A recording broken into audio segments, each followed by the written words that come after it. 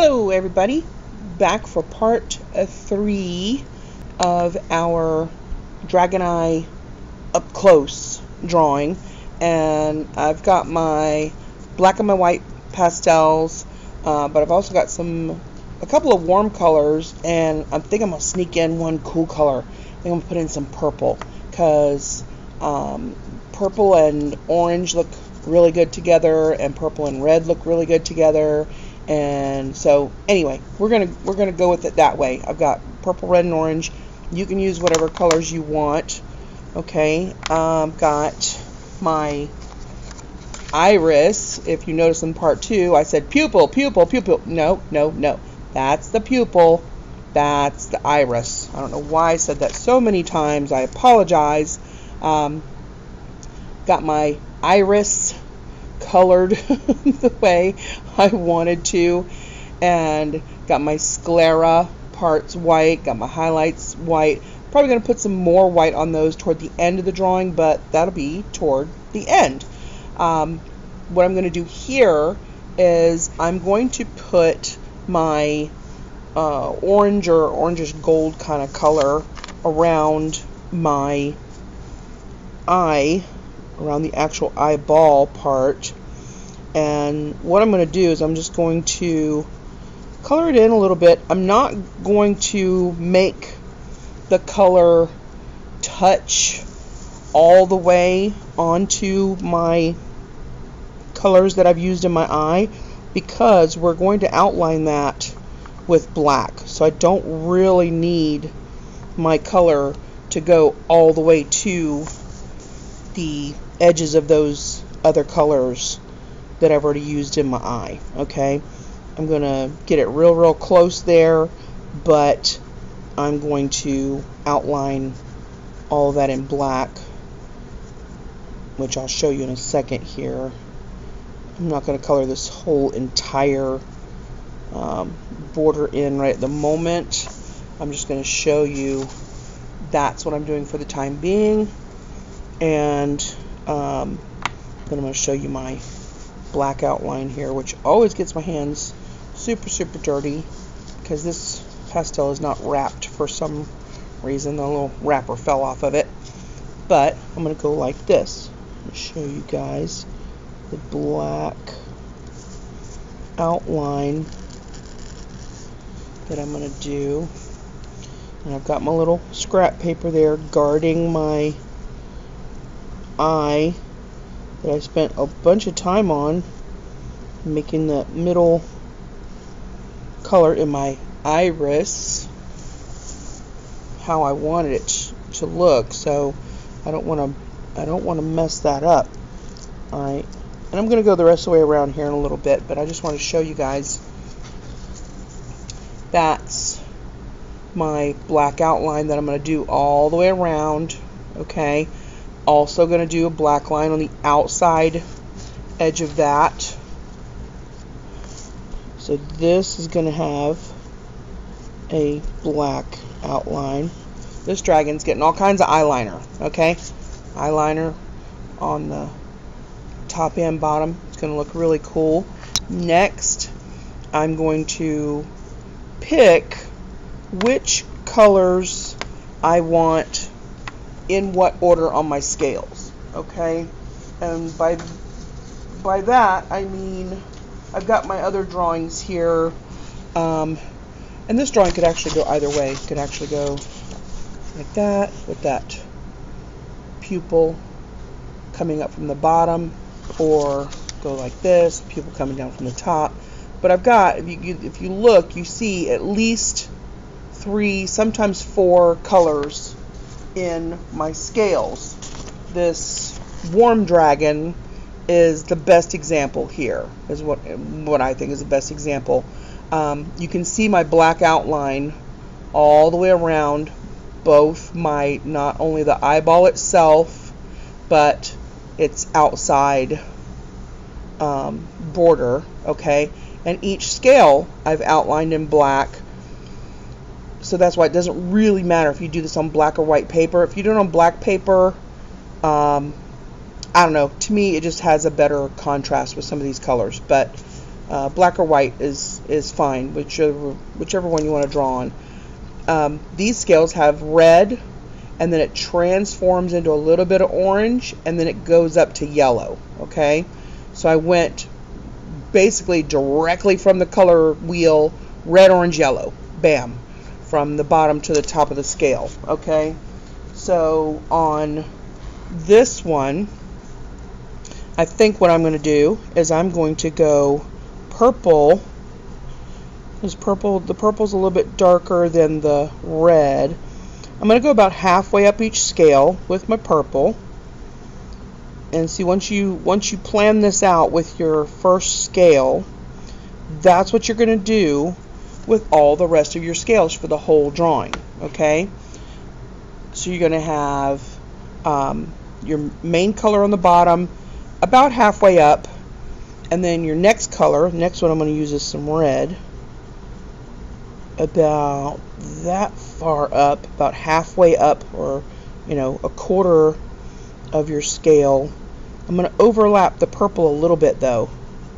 You see that? I went right over top of my purple and I took up about half that space I had left. Then I'm going to go over top of my red a little bit with my orange kind of color, gold, and go up to the top of the scale like that. Okay? Alright, so each one, I'm going to leave a little bit of space in the middle. That's why I used a white pastel so I can see it really easily because we're going to cover up all that white pastel with black pastel and make our borders for each one of our scales here. I'm going to do about three scales here and show you what I'm talking about. I don't need to go all the way down to this orange part because I'm going to put a black border in between my orange and my purple right there. I'm going to do these three scales. Alright, so I've got my purple on the bottom and I'm going to put my red over top of my purple a little bit and then go about a quarter another quarter of the way up the scale or take up half of that space that I had remaining after I colored my purple then once I get my red all colored in like that. I'm going to grab my gold go halfway down my red about that far and then rest of it gold gold gold.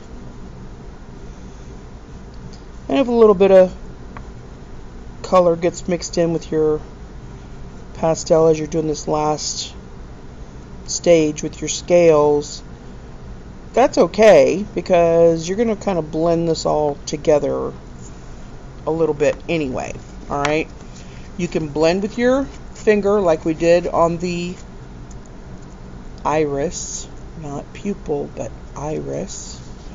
Or you can take your a trusty trusty little Dunkin' Donuts napkin or paper towel or just a regular piece of paper and you can kind of wrap it around the end of your finger and kind of blend like that.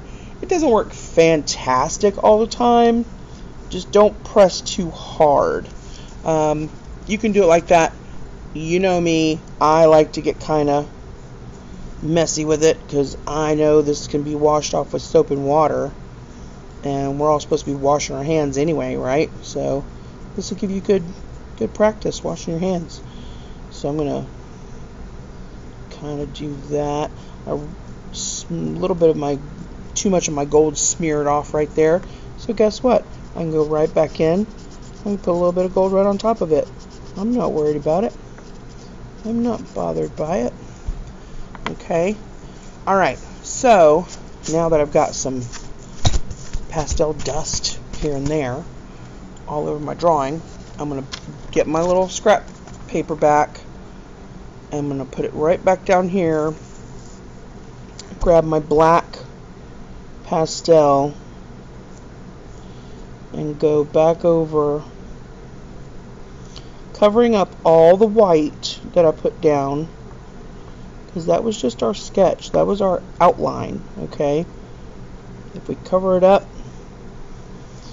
it's no big deal because it was just there to show us where all of our different parts of our drawing were going to be. Where our eyeball is going to be, where our highlights were going to be, where our scales were going to be, okay? And if some little bit of white sticks up there, that's okay because we're going to cover that up in a minute when we color the rest of our scales up there. Okay? Don't forget to do the eyeliner part. Come around here. Outline each scale. Eyeliner part. Come around here. Outline each scale. Okay. I might just outline that one for fun while I'm right there. Okay. So, our dragon eyes coming to life, but to make it look even better, make that a little tiny, tiny bit thicker right there. To make it look even better, I'm going to put kind of a white highlight right here in between my red and gold colors like that. And you might not be able to see it really great on camera. It's showing up a little bit pink right now on camera. Um, and it does kind of blend in pink a little bit pinky orange color when that white hits the hits the red and the gold there. But um, that's okay okay for it to look like that. I can leave it like that. Or if you really want to make it um, show up super bright you can actually use um, a little bit of chalk or sometimes you can use just a teensy bit of acrylic paint on top of that. I do not recommend putting acrylic paint which dries as a plastic basically it turns into a plastic when it's dry. Um, I do not recommend putting acrylic paint over top of oil pastels because like I said before in the last one of my last videos on the dragon eye is that the pastels don't ever really really dry okay? Um, you can though use a what what's called a fixative um, and I'll write that for you right here fix uh, and that's basically a spray. It's almost like kind of like hairspray. When you spray it on, it seals in your drawing. Okay, so if you use a fixative, there's also fixatives that you can brush on, but for pastels, I definitely recommend a spray fixative. Um, and if you have a really, really good hairspray, you can actually use that for a fixative on your pastel drawings. Don't get the um, fixative, the fixative spray. Don't get the hairspray from like the Dollar Tree, okay? Because it's not, there's not enough uh, of the hairspray actually in the mixture in those cans to seal in your drawing. It's just going to get it really, really wet and then it'll wrinkle up your paper and it won't really do much and you can still rub the pastel and it'll still come off on your finger. So uh, if you have a really good hairspray, you can test it on a little piece of paper. Draw something, draw a little, you know, a few little marks in pastel on a piece of paper, like a scrap. Spray it with your really good hairspray, let it dry, and then if you can still smear it, um, it's not a good fixative. But if you can't, then hey, you're you're good to go there. Okay. Some fixatives in in the regular spray cans, um, you can go get a clear coat from uh, Walmart or Lowe's or a place like that. It's four, five, six dollars a can. Krylon makes stuff like that. Um, you can use those on paper and pastel sometimes, but always do a test paper first. Okay. You don't want to ruin your artwork, you'll be crying and you'll have to do it all over again if you don't test it first. Make sure you test it first, okay? So, um, I'm going to keep going on this. I will post the finished version in, in my next video. My next video, uh, we're going to explore some regular pencil drawing stuff, and uh, depends on depends on what all the the district wants us to do this week for lessons and stuff. And I'm just to be here. I'm to be available for you guys. Please feel free to, to comment in the in the comments below. Um, drop me a comment, drop me a like. Um, I'm not all about the subscriptions and things like that. If, if you guys don't want to do all that, that's fine. Just but if you do subscribe and, and hit the notification bell, you'll be notified when I come up with new videos and stuff. So I, I really would love for you guys to draw along with me and and kind of you know stick with me here. We're we're gonna get through this weird time with this weird virus and everything's kind of crazy, but Miss Fink is still here. I'm still here for you guys. I will be available to answer any kind of questions. You can always um, email me. You can drop a comment in the in the YouTube videos if you have a question about one of those. Um, and please, if you want me to draw something, please let me know. Tell me, hey, let's draw this, let's draw that. Whatever you want to draw, um, as long as it's appropriate for us to post in a, in a public video, then I'm all for it, okay?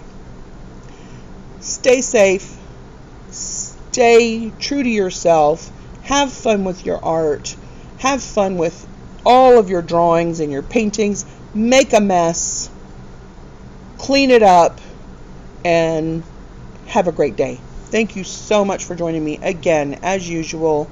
I really appreciate you guys. I will see you soon.